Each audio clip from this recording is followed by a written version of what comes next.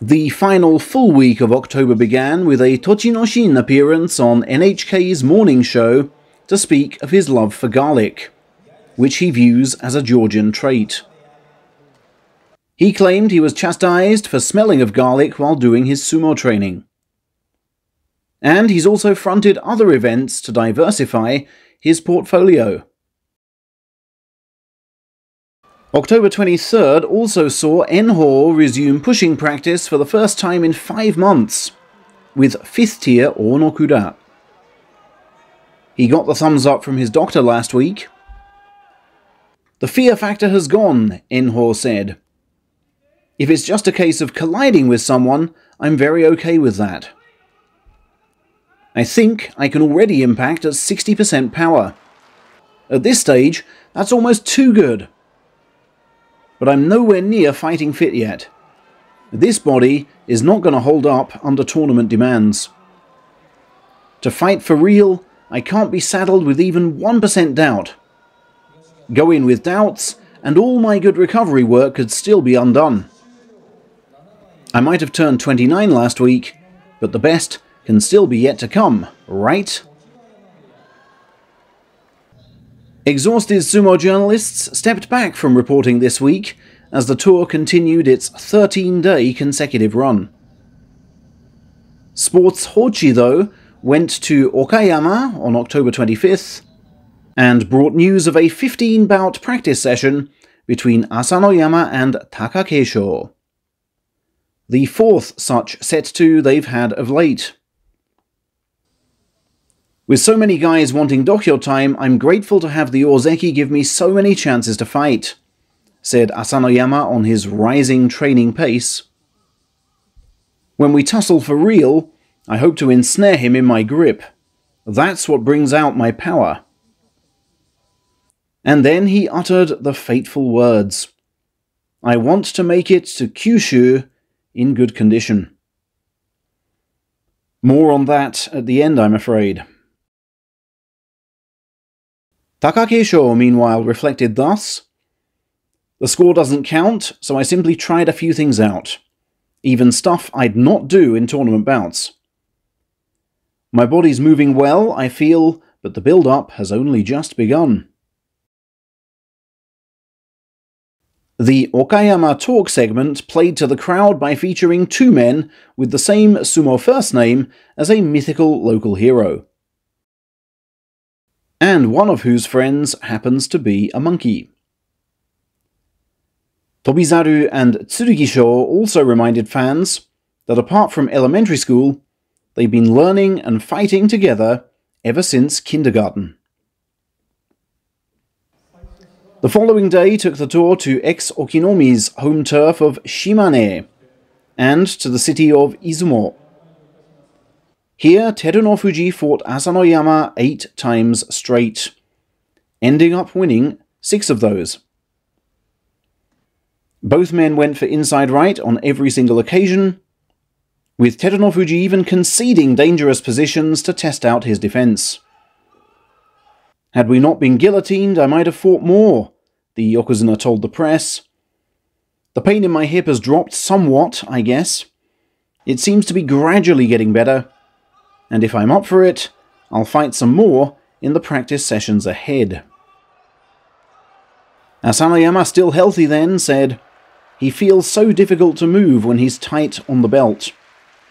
And the ways in which he breaks a grip, slashes inside, or grabs outside left are all different class. My wins against him in training mean nothing if I can't do it on the tournament stage. I want to beat him for real at least once.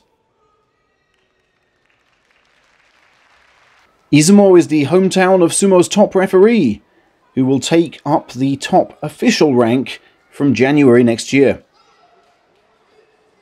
You can really see what this tour event means to the Izumo people, said the next Kimura Shonosuke, after getting applause as loud as that for any wrestler on show. Given my increased responsibility, he added, the final year of my sumo career will weigh as much as the other 49 combined. Young Atamifuji continues to be adored. in Izumo by the 2,000 kids invited from local schools. I like the kids and do my best to please them, he said after posing for numerous photos. You have to respect how brave they are when calling out to a sumo wrestler. The day after that, yesterday, saw the strongmen move to Maniwa Okayama, where Terunofuji returned to the exhibition card, fighting Kirishima and beating him with a thrust over despite conceding double grip. But the practice matches he fought that day went nowhere near as well. Although he charged down enemy thrusts and pulled off a throw at first, he lost four of the ensuing six to ever more buoyant Gonoyama, and was cursing when he lost. It's an honor to fight him, said Gonoyama, who last tasted Yokozuna flesh in July at a Sadogatake practice session.